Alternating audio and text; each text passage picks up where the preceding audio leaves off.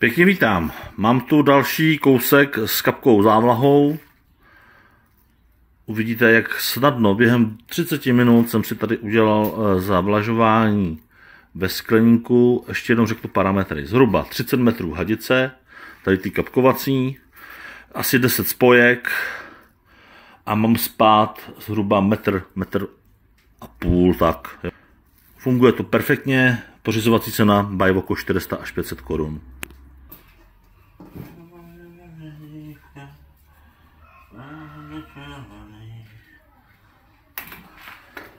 Nesmí se pěkně návratat, tak to stavím strápený.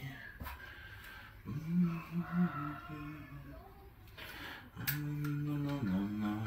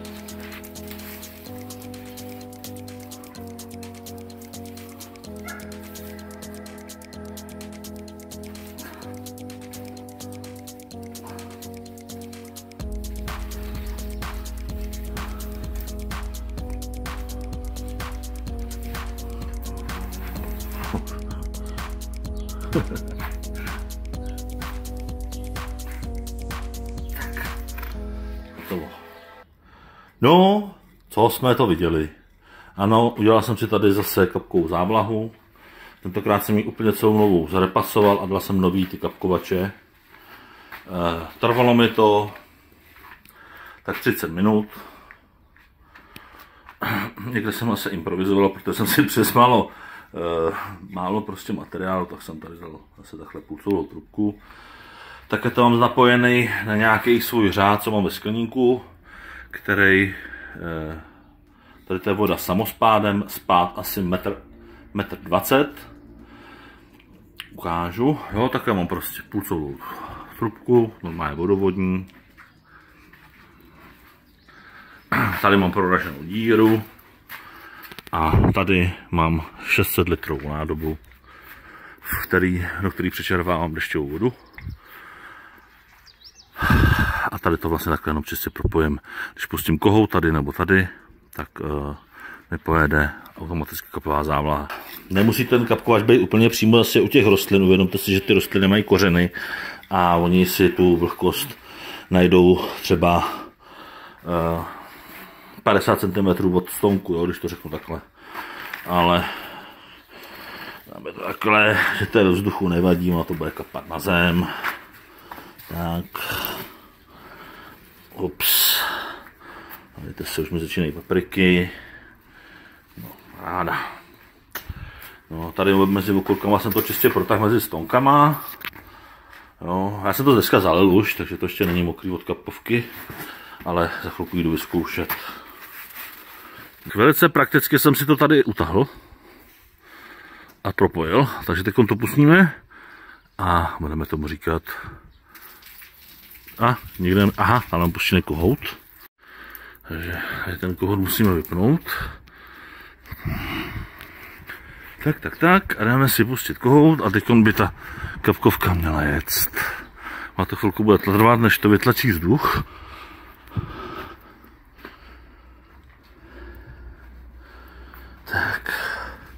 Tady se takhle hajnem a budeme čekat.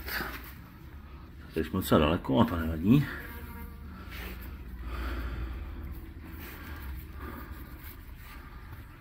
slyším, jak tím potrubím jede voda.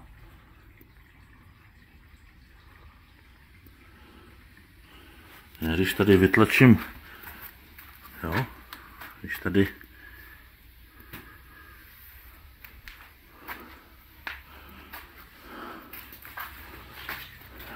jo, ale tak tady už to kape. Tady to teda kapat bude taky, no to nevadí, se nedá dělat. To bych mohl nějak zalepit, no, tenhle přechod. Jo, ona to musí vytlačit tu vodu, co je v tom potrubí. Jo, slyšíte to? Tak to vytlačí vodu. Tak to začne kapat i tady. Takže za 500 korun si můžete takhle udělat, já mám velký skleník, samozřejmě čím menší skleník, ale tam je spíš, nejdražší jsou ty spojky, no. Bych řekl. Okay, už je kape, nebo ne, jo, už to je jaký kape, vidíte.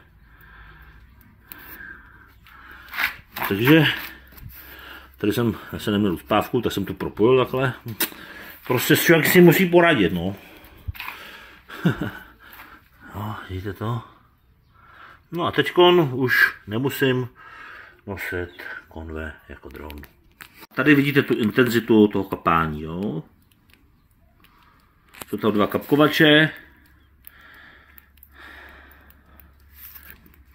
Uvědomte si, že ta rostlina je schopná si prostě pro tu vodu došáhnout, takže eh, já si myslím, že já tady mám asi 40 cm rozestupy, nebo 30 cm rozestupy, nevím, Myslím si, že to je celkem jedno. Ta rostlina si proto šahne, jo, pro, tu, pro tu vodu. No, Takže tak. Takže vodě a závlaze zdar.